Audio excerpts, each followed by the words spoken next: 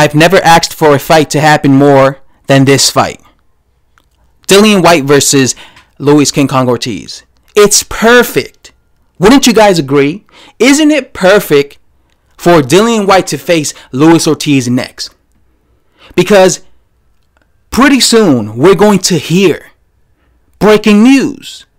Deontay Wilder will defend his WBC belt against Dominic Breazeale sometime in May or June. And when that happens, guess what? Dillian Whyte is going to be left without an opponent. Luis Ortiz just uh, annihilated and dominated Christian Hammer here in the Barclays Center, right? So he has no opponent coming up. Wouldn't it be great and fantastic news if you heard breaking news Dillian Whyte versus Luis Ortiz, May, June, you know, at the O2 Arena in London. I feel that this is the perfect opportunity for Luis Ortiz and Dillian Whyte to finally fight. Dillian Whyte himself has said that he's been trying to get this fight with Luis Ortiz for years, right? I, believe two years. You know, he says Luis Ortiz is a coward and he ducked him. You know, there is some evidence to Dillian Whyte telling Luis Ortiz to fight me in the UK last year. I remember him tweeting to Luis Ortiz saying, "Listen, fight me December 20th or 22nd of 2018. Fight me here in the UK." Um, and I remember at the time, Luis Ortiz was saying, "No, I'm going to be fighting December 1st. Come over to the US and in, in, the undercard of Wilder versus Fury." And that that was the big holdup. That's why that, that fight didn't materialize.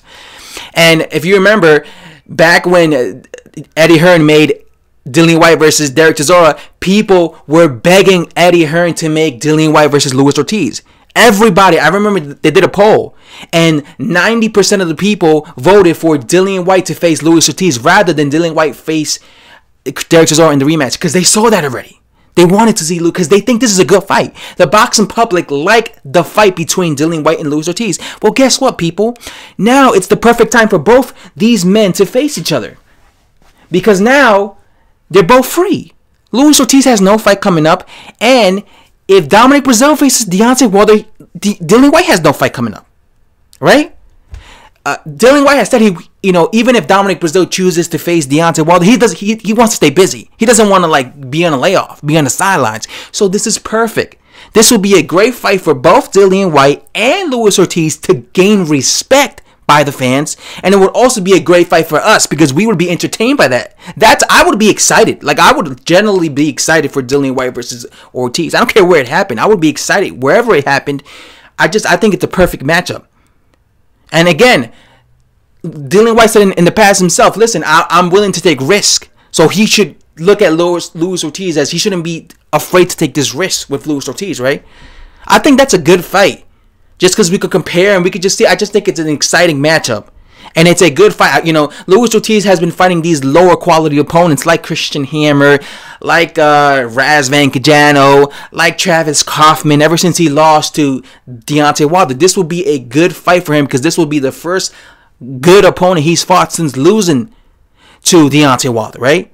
Because again, all his last three opponents, he's been very active. He's fought three guys. Uh, Cojanu, uh, Kauffman, and of course last night, Hammer. But none of these guys are as good as Dillian Whyte. So this would be a great fight for him just because it would be, he, finally put himself in a position where people will gain respect. I mean, if he if he beat Dillian Whyte, I will give him tremendous respect. I will give him massive credit. And the same thing for Dillian Whyte, by the way. I would give him credit.